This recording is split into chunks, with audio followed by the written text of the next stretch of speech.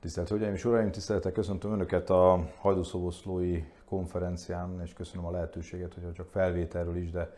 röviden elmondhatok néhány gondolatot a digitális jólétprogram és az oktatás kapcsolatáról, azon belül is a digitális kompetencia fejlesztés jelentőségéről. Én már három éve a digitális jólétprogram, ami egy elég nagy program, a lényegében mindennel foglalkozik a kormányzaton belül, ami digitalizációval összefügg, és ma már azt tudjuk mondani, hogy szinte alig van olyan terület, ami nem függ össze a digitalizációval. Nos tehát, amit önök most látnak ezen a rövid és reményeink szerint jól érthető ábrán, hogy mi az az értelmezési nagy keret, amely mentén kifejti a digitális jólétprogram a tevékenységét. Ugye én nagy csodálója voltam mindig is a periódusos rendszernek, a Mendelejev táblázatnak, így kedve néztem, hogy vannak olyan tudományágak, amelyek a teljes igényével tudják meghatározni a beavatkozásoknak és a történéseknek, vagy éppen az elemeknek a, az összességét, akkor is, mint ahogy a Mendelejev táblázat esetében ez ugye így volt, hogy még magát az anyagot nem is ismerték, de tudták, hogy a dolgok természetes logikája szerint kellenek olyan anyagoknak létezniük a Földön, amelyet évtizedekkel később meg is találtak, amelyet ez a periódus rendszer úgymond mutatott. Mi is ilyen teljességre törekedtünk akkor, amikor a DEP 2030-nak, a Digitális Program 2030-nak úgymond a beavatkozási tábláját elerajzoltuk ebben a kilenc beavatkozásban. Ugye az a feltevésünk, hogy ne legyen olyan történés és jelenség a digitalizációval összefüggésben, amelyet a kormány észlel, amelyet ezen a nagyon egyszerű táblán nem tudunk értelmezni megengedik nagyon röviden ezen, akkor végig mennék, mert ugye a megközelítésünket a digitális kompetenciával összefüggésben azért ez jelentősen befolyásolja. Ugye a DEP az több mint 5 éves, ennek megfelelően érdemes visszatekintenünk a kezdetekre, 2015-re, amikor az emberről a digitalizációval összefüggésben szinte kizárólag úgy beszéltünk, hogy fejlesztjük a kompetenciáját, és tegyük lehetővé, hogy a munkaerőpiacon, az oktatásban, vagy éppen az időskori aktivitása során a digitális eszközöket, intézményeket, platformokat igénybe tudja venni. Jól látjuk, nálunk adott esetben fejlettebb digitális ökoszisztémával működő országoknál, és mondjuk iskolarendszereket különös ide lehet venni, hogy már szinte nem az a fő kihívás, hogy kompetens legyen adott esetben a tanár és a, a diák, ez sem sokszor kevés feladat, hanem hogy mindeközben megmaradjon embernek, társas lénynek, vagy ahogy itt az ábra említi, szerethető embernek. Hiszen van főleg egy nemzeti konzervatív kormány esetében egy nagyon karakteres elképzelés arról, hogy bár nagyon sokszínűek vagyunk úgy, mint emberek, és nagyon sokfajta sokszínű családban, közösségben, településben élünk, sokfajta magatartás mintázat menten, de mégiscsak a társas lényé válás, a társadalmi kohéziónak a fenntartása, az egy olyan imperatívus, amit azt gondolom, hogy a digitális eszközök mentén is meg kell tudnunk teremteni. Ennek megfelelően védeni kell a gyermekeinket, és fejleszteni kell az ezzel kapcsolatos intézményeinket, mint ahogy majd látni fogják, hogy ez komoly kihívások és komoly intézkedéseket szült önmagában a digitális program keretein belül. A harmadik emberrel összefüggő feladat, tömeg feladat sor, hogy amíg 5 évvel, bő 5 évvel ezelőtt a digitalizációról úgy beszéltünk, mint a világ legjelentősebb globális versenyképességi kihívásáról, versenyképességi dimenziójáról. Ma azt tudjuk mondani, hogy a digitalizáció alapvetően, és ez magába osztott a versenyképességi kérdés is, szuverenitás kérdés. Szuverenitás egyéni szinten, vállalati szinten és nemzeti országos szinten is. Erre talán a legjobb példa a közösségi média, vagy éppen a keresőmotoroknak a globális működése, hogy milyen erőteljesen, gyorsan, és ma a jogilag, akár nemzetközilag is szinte kezelhetetlen módon befolyásolják a különböző politikai, közéleti történéseket. Tehát abban a 200-300 évvel ezelőtt kialakult plurális parlamenti demokráciában, amiben ma élünk, ugye az a feltevés, hogy az választópolgárnak, az állampolgárnak van egy valóságérzékelése arról, amit összevet egyfajta otthonról hozott és kialakult értékszemlettel, és a kettőnek úgymond a szorzatából levon bizonyos közéleti aktivitásokat, akár egy választáson való véleménynyilvánítás formájában. Ha a valóságérzékelést ebben a virtuális térben jelentősen tudják és nagyon gyorsan, kontroll nélkül úgymond torzítani, átalakítani, akkor nyilvánvalóan az államnak, ugyanúgy, mint a médiaszabályozás, vagy éppen korábban a sajtószabályozás tekintetében van dolga, ha tetszik, akkor ilyen értelemben hírfogyasztó védelem szempontjából az állampolgárok számára. Erről beszélünk, amikor arról beszélünk, hogy egy-egy kormányzatnak, tagállamnak, vagy éppen az Európai Uniónak van dolga, hogy az államalkotó embert, mint értékvállaló és értéket képző szemét megpróbáljuk megvédeni, megóvni a esetleg negatív digitális kívásokkal kapcsolatban. A másik nagy rendszer a gép. Ugye azért érdemes talán egy oktatási konferencián beszélni a gépről, a digitális gazdaságról, hiszen azért lássuk tisztán, hogy a turizmus mellett, amely ugye a pandémia alatt ugye kritikus időket él át, a világon ö, talán a legdinamikusabban fejlődő ágazat az oktatás, a tanulás, a köznevelés, vagy egyszerűen szólva a tudásipar ágazata. Látjuk, hogy ahogy az embereknek egyre több szabadideje van adott esetben a mindennapi munkavégzés mellett, a szabad idejüket vagy utazással, vagy továbbképzéssel, tanulással, ismeret megszerzéssel töltik, már csak azért is, mert egyre bonyolultabb rendszerekben működünk, tehát szinte nincs ma olyan szakma, jogász, pedagógus, orvos és sorolhatnám szinte az összes szakmát, ahol folyamatos továbbképzésre, utánképzésre, átképzésre, élethosszig tartó tanulásra van szükség. Tehát amikor digitális gazdaságról beszélünk, akkor azért értsük ide nyilvánvalóan magát a tudásipart. E tekintetben a DEP szintén egy hármas megközelítést alkalmaz,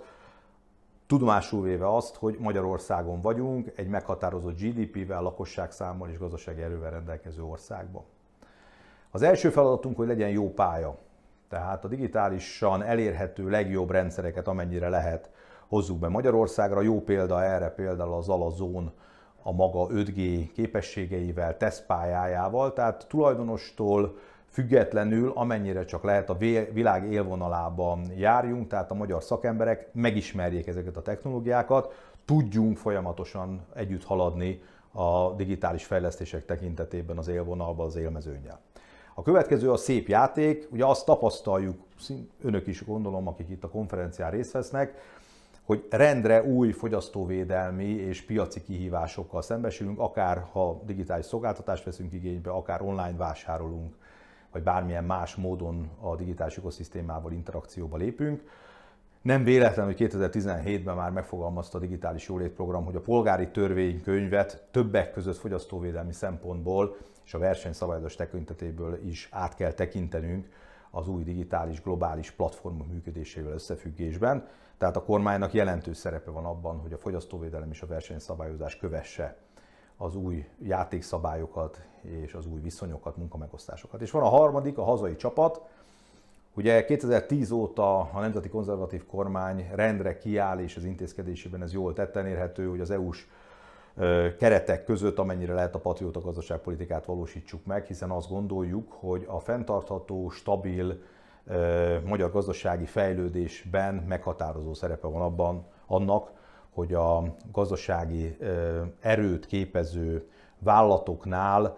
a magyar tulajdonon és a magyar tulajdonos megjelenjen, és adott esetben rezonáljon a különböző nemzeti kihívásokra, illetőleg a profitot amennyire lehet Magyarországra forgassa vissza, és minden nagyobb hozzáadott értéket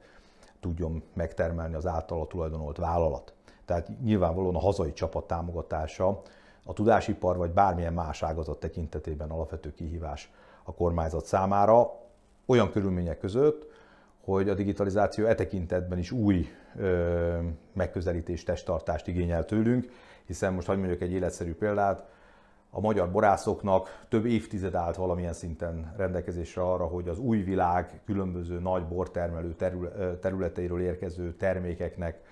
ellen tudjon állni, saját karaktert és saját brandet tudjon kialakítani. Ma azt lehet mondani, hogy egy új digitális platform szolgáltatás feltűnése, ami adott esetben egy meghatározott piaci szegmensnek teljesen újraírja a játék szabályait és belső munkamegosztását, erőviszonyait.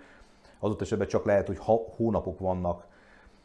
hogy állnak rendelkezésre a piaci szereplőknek, hogy erre felkészüljenek. Tehát e tekintetben egyfajta állami előrejelzés, obszervatóri, és utána pedig egyfajta piacvédelem, piacmoderálás mindenképpen feladat, egy egészséges magyar KKV ökoszisztéma fenntartása és megőrzése érdekében. És akkor van a harmadik része a DEP 2030-nak maga a rendszer, amit úgy lehet röviden összefoglalni, hogy minél több és tisztább és összekapcsolhatóbb adatvagyon elemből, adat, adatból, minél nagyobb robotizálás, mesterséges intelligenciáknak a fokozott igénybevételével alakítsunk ki, és ezt az így komplexebbé váló és gyorsabb, nagyobb frekvenciával működő közigazgatást pedig nyilvánvalóan újfajta eszközökkel, alapvetően a hálózat tudomány eszközeivel tudjuk alkotmányosan felügyelni, irányítani és ellenőrizni. Nos tehát ez a DEP 2030 nagy rendszere, amint itt láthatják, és majd külön még a közigazgatás fejlesztésre rá fogok térni, számos ponton illeszkedik magához az oktatási rendszerünkhöz, az oktatási irányítási rendszerünkhöz. Az emberről akkor röviden csak így villanásszerűen néhány olyan intézkedés, ami részben folyamatban van, részint pedig ugye már mögöttünk tudunk. Ugye a kompetens ember kialakításnál, Sánál ugye meghatározott a digitális oktatási stratégia megalkotása 2016-ban, mint a DEP egyik első terméke. Ilyen összefüggésben erre épült a digitális kompetencia rendszer kialakítása, ami ugye 2019-ben jelent meg kormányhatározat formájában, amire most ugye a következő tervezési időszakban a különböző DIC-komp fejlesztési programok egészségesen rá tudnak épülni és fel tudnak ilyen értelemben fejlődni minden korosztály, mind a felnőtt képzés, mind a felsőtás, mind a szakképzés és, és köznevelés tekintetében. Kiemelt programelem volt mindig is a DEP világában az idősügyi program, hiszen ugye egy előregedő társadalomban vagyunk, de egy olyan társadalomban, ahol az időseknek az interaktivitása, a különböző digitális intézmények, platformok irányában elvárás utalok csak itt a online vásárlásra, vagy az az online ügyintézésre, de ugyanígy a családfokutatásra, vagy éppen a családi archívumok digitális elmentésére, erről majd néhány program kapcsán még szólni fogok. Megalkottuk a digitális munkaerőprogramot, amely ugye összességében és komplexitásával elemzi és összekapcsolja a foglalkoztatáspolitikai eszközrendszert, az adózási eszközrendszert, illetőleg a, a képzési eszközrendszert, hiszen ennek a három ágazatnak egy folyamatos együttműködése eredményezi azt, hogy adott lakosság adott képzési színvonalából az optimális gazdasági teljesítményt tudjuk kihozni. Jól látjuk nemzetközi összehasonlításban, hogy ahol azt mondjuk, hogy adott ágazatban Magyarországon hatékonysági probléma van, kevesebb, kevesebb újítás, fejlesztés, vagy éppen kevesebb hozzáadott érték jön létre, ott valójában kompetenciafejlesztés az elsődleges beavatkozás, ahol előre kell haladni. Friss példa, amikor is azt mondjuk, hogy a magyar és a holland agráriumot összevetjük, és sajnálattal kell megállapodnunk, hogy a, a holland, egy holland mezőgazdaságban vagy agráriumban dolgozó ember által előállított érték az közel négyszerese annak, mint egy magyar agráriumban dolgozó ember által előállított értéknek. Ez egy sokkolóan drámai adat, ami mögött nyilvánvalóan egy precíziós mezőgazdaság és eszközpark áll, de nyilvánvaló, hogy ennek a működtetéséhez egy kompetenciájában jobban felvértezett agrár munkavállalóra, agrárvállalkozóra van szükség. Szintén kiemelt program és soha nem látott lehetőség a fogyatékkal élő honfitársainknak az integrálására, mind a társadalomban, mind a munkaerőpiac tekintetében. Ugye erről szól a pályára állító program, amikor 16 éves kortól egészen 26 éves korig a adott jogszabályi keretek között, illetve a család fokozott bevonásával, amennyire lehet a fiatalt, akinek mozgásszervi, hallás vagy látásbéli fogyatékossága van, amennyire lehet rávezessük a munkaerőpiacra, hiszen a digitális gazdaság, még egyszer mondom, nagyon nagy lehetőséget kínál az egyes fogyatékkal élőknek az értékes munka, munkakör megteremtésében. Beindítottuk a digitális jólét alapcsomagot, ami jól működik a tekintetben, hogy ugye van egy nagyon jól megragadható adat, a DEP indult, a magyar népesség 15%-ára mondtuk egy felmérés alapján, hogy úgymond inaktív digitálisan, tehát nem érintette meg semmilyen formában a digitális szolgáltatások egyike sem. Pont a digitális jólét alapcsomag, a, a jó internetellátottság és különböző más kampányok eredményezték azt, hogy ez a 15% jelenleg 7% közül körül mérhető, tehát 7%-a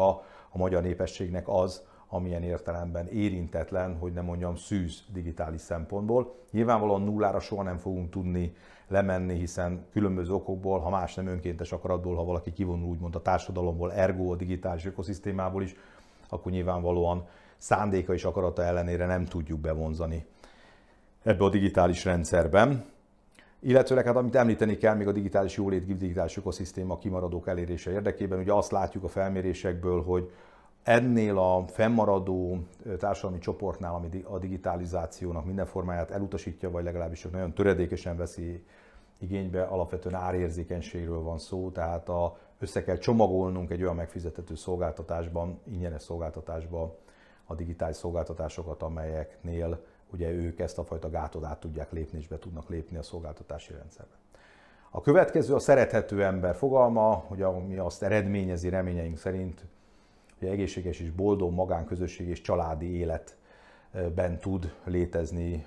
minden korosztályba tartozó honfitársunk. Ennek szintén volt egy nagy nyitóképe a digitális gyermekvédelmi stratégia a kortárs mentor hálózattal a különböző felméréseivel, ami azért kimutatta azt, hogy egyre jelentősebb szerepe van mind az internet túlhasználat, mind pedig más kihívások tekintetében annak, hogy a köznevelési intézményrendszer, az ágazati irányítás, a családoknak a képzése és fejlesztése azt szolgálja, hogy a gyermekek egészséges körülmények között tudjanak felnőni, és valóban a digitális eszközöket arra használják, ami rendeltetésszerűen valók. A következő programunk a Kézai Simon program, ugye, ami abból indul ki, hogy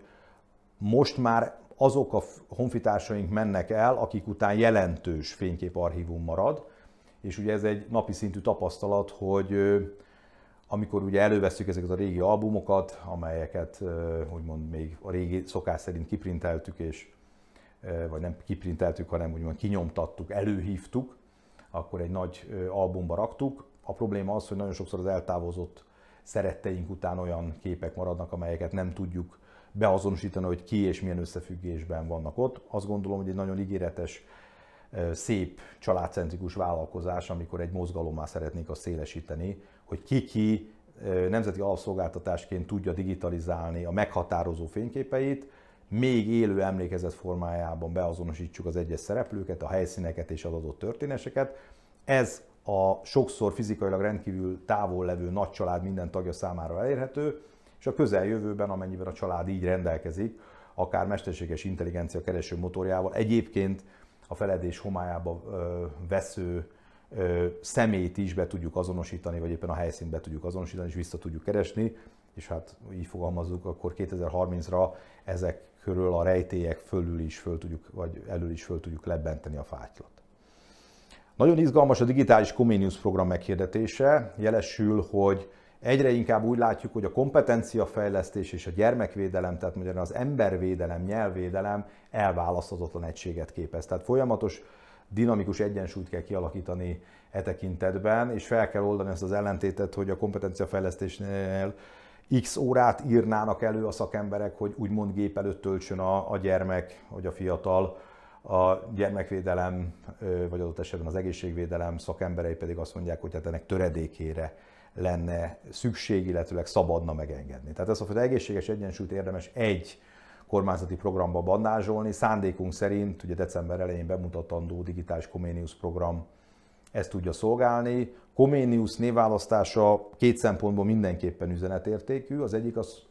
hogy Comenius ugyan aktív oktatási, pedagógiai fejlesztési tevékenységnek jelentős részét Sárospatakon fejlesztette ki, de jól látható módon egyfajta V4 közös múltba megragadható szeméről és szakemberről van szó, tehát üzenetértéke van, nem véletlenül a Comenius program bemutatása kapcsán lengyel, cseh és szlovák kollégákat is idehívunk, hogy együtt vizsgáljuk meg a Comenius hagyatékának a tanulságait a digitális ö, oktatási rendszerben. A másik magának a Comeniusi megközelítésnek az a fajta ö, ereje, ami is a, a játszó, a homo ludens ö, köré építi a pedagógiai programját, magyarán, hogy a képesség mellett a játékosság, a fásultság hiánya és a, a társas együttlétnek a boldogsága mind-mind megjelenik. Évszázadok múltán is azt tudjuk mondani, hogy ezek rendkívül, is, rendkívül érvényesek és időszerűek számunkra, és pont a koméniuszi hagyományba tudjuk ilyen értelemben szépen beoltani mind a kultúra, mind a nyelvvédelmét. Erről szól a digitális Koménius program, ami még egyszer a DGS és a DOS-nak egyfajta egészséges fúzióját fogja eredményezni. Ugye nagyon sok téveszme, áltudományos megállapítás van a tekintetben, hogy mennyire káros és mennyire kevéssé káros, vagy éppen milyen formája káros a digitalizációs eszközök használatának.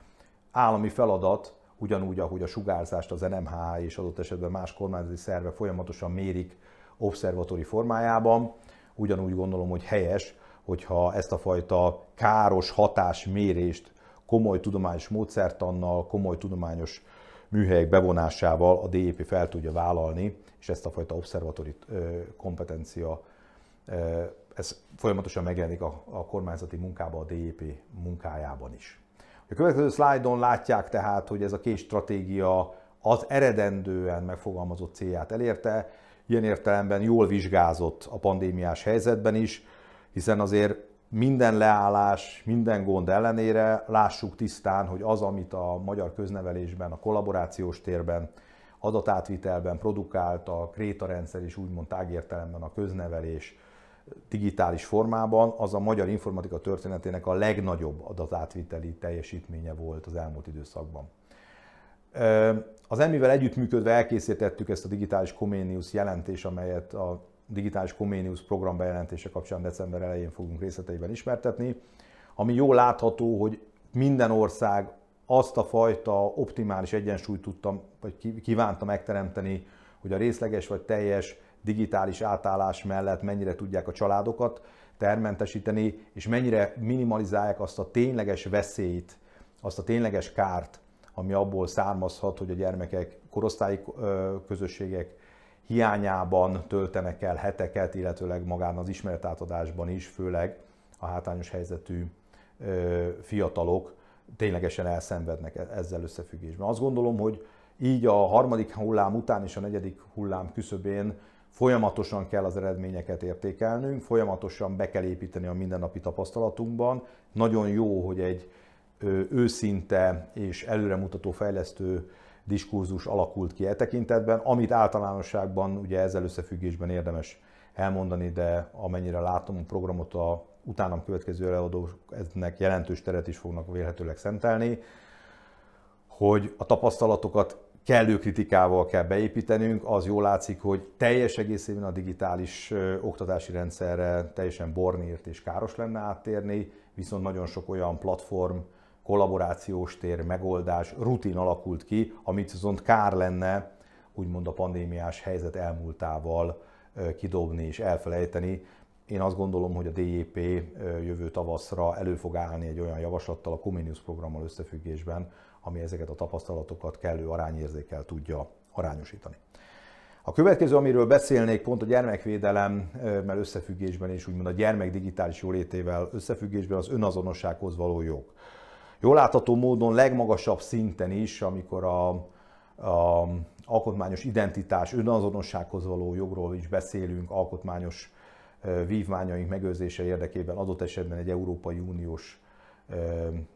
vita keretében rendre ugye a családvédelem és gyermekvédelem tekintetében előjön, hogy mennyiben van felelőssége az ágazati irányításnak vagy ott esetben egy kormányzatnak a gyermekek önazonosságának a, a védelme tekintetében. Ez az ábra az jó mutatja, hogy elindultunk ezen az úton, jól látható módon nagyon szélsőséges és nagyon vehemens vita alakult ki ebben a kérdésben. Szerintem helyes, hogy a DGS is, a DEP is magára a gyerekre koncentrál, arra koncentrál, hogy a gyermeknek joga van egyfajta egészséges fejlődésre, és e tekintetben kellő felelősséggel kell eljárni a, nem csak a kormányzatnak, nem csak a nevelőtestületnek, hanem alapvetően a családnak, és ennek megfelelően a családhoz kell telepíteni ezt a fajta döntési felelősséget, hogy a, a gyermekeinknek, a jövő generációjának ezt a fajta önazonossághoz való jogát tudjuk biztosítani, és azt gondolom, hogy szépen épül fel mind a digitális kultúra tantárgy nevesítésében, mind a, pedagógus továbbképzésben a, a digitális gyermekvédelemnek ez a fajta dimenziója.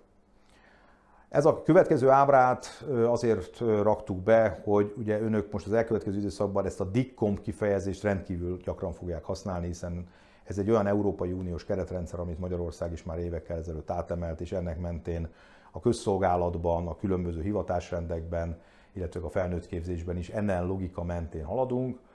Ami nagyon fontos e, itt az interakció. Ugye a, én közigazgatási jogász vagyok, és ugye mindig el szoktam mondani,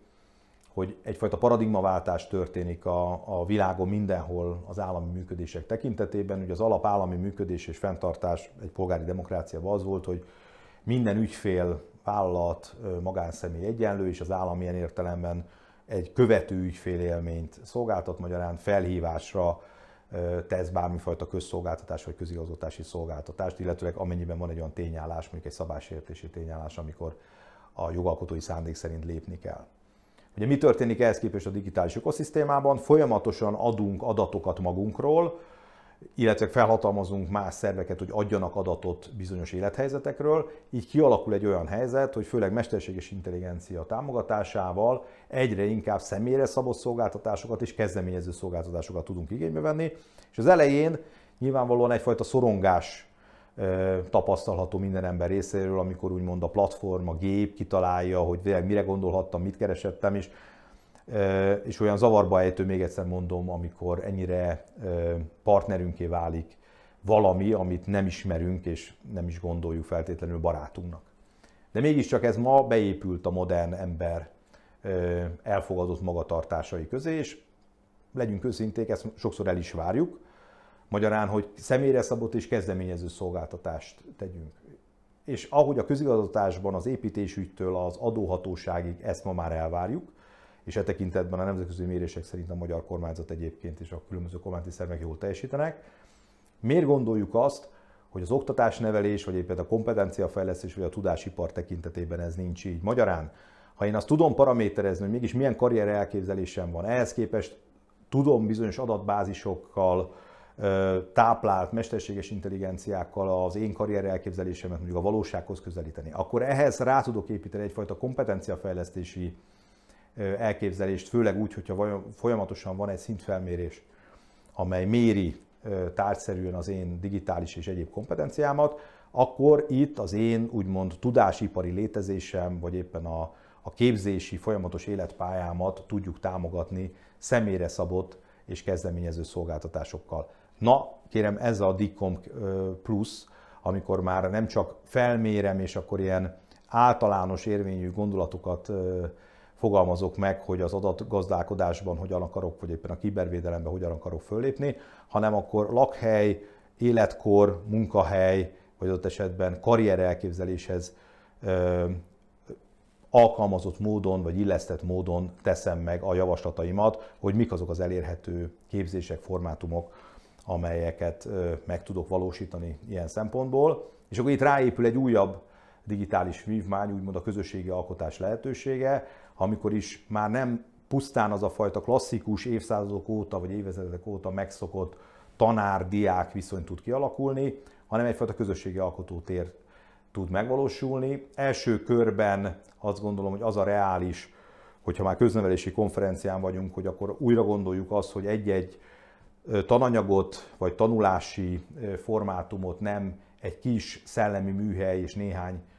tankönyvíró alkot meg, hanem óravázlatok felhasználásával, különböző fejlesztésekkel egy nagyságrendekkel szélesebb oktatói és fejlesztői gárda tud megalkotni, és utána előbb-utóbb ebbe, az alkotói folyamat, alkotási folyamatba adott esetben a diákok is be tudnak kapcsolódni, és az ő visszajelzésük, élményszerűség elvárásaik is egyre jobb formátumot vagy tananyagot tudnak megvalósítani és biztosítani számunkra. Zárásként egy olyan intézményről emlékeznék meg röviden, ami, ami nagy sikerrel indul el, és egy ilyen hálózattá szeretnénk kibontakoztatni, úgy is, mint hogy a, az iskolán kívüli kísérleti műhely, ahol folyamatosan lehet új formátumot, új megközelítéseket, didaktikai módszereket kipróbálni, hogy ez a digitális élményközpontok és digitális tudásközpontok hálózata. A térképen látják, hogy ugye ez a folyamat ilyen értelemben elindult már évekkel ezelőtt, és hál' Istennek ugye egyre több település, egyetem látja úgy, hogy szükség van egy ilyen új típusú játszótérre, digitális játszótérre, amit a kormány nyilvánvalóan módszertanilag, központi platformmal, illetőleg eszközökkel tud támogatni. Arra szeretném fölhívni az önök figyelmét, hogy ahogy az én gyerekkoromban is nyilvánvalóan a biológiai órához jó kapcsolódott a, a budapesti állatkert meglátogatása és egy ilyen élmény, vagy éppen a füvészkert meglátogatása, a digitális világban is szükség van úgymond ilyen kertekre, ahol ezeket az eszközöket költséghatékonyan meg tudjuk mutatni, hiszen Magyarországnak a, a GDP keretei, költségvetési keretei azt teszik jelenleg lehető, hogy ilyen élményközpontokba fókuszáljuk ezeket az új fejlesztéseket és ezeket a módszertani megközelítéseket. Nagy reményeink vannak e tekintetben, hogy ezek rendkívül pozitívan fognak hatni a magyar köznevelés fejlődésére. Összefoglalva tehát azt gondolom, hogy magát a helyzetet itt pandémikus időszakban is szerintünk a Digitális Jólét Program, az EMMI, az ITM különböző szakmai szintjei, vezetői, ágazatirányítói helyesen érzékelik. A nemzetközi összevetésekben és a nemzetközi intézkedések értékelésén is azt látjuk, hogy meg tudtuk őrizni a fajta kezdeményező gondolkodásunkat. E tekintetben minden hiba, nehézség ellenére, amely, és így azt gondolom most is csak köszönettel tartozunk mind a családok, mind a, a, a tanári testületek, intézmények irányában, hogy a pandémiás helyzetben helytáltak, és valóban ez egy háborús helyzet volt, ami, és sajnos ugye most sem könnyű a helyzet ilyen szempontból, amiben a Covid járvány bekényszerített minket. Ebben a helyzetben a mi feladatunk, mi digitális jólét programnak a munkatársai, hogy ezeket az új rendszereket, víziókat, jogalkotási, platformfejlesztési vagy jogalkalmazási szinten tudjuk definiálni, tudjuk fejleszteni, és a mi dolgunk az, hogy amennyire lehet hatékonyan eszközökkel tudjuk a magyar köznevelési intézményrendszert támogatni. Ezekkel a gondolatokkal kívánok Önöknek további jó tanácskozást, és nagyon szépen köszönöm, hogy meghallgattak.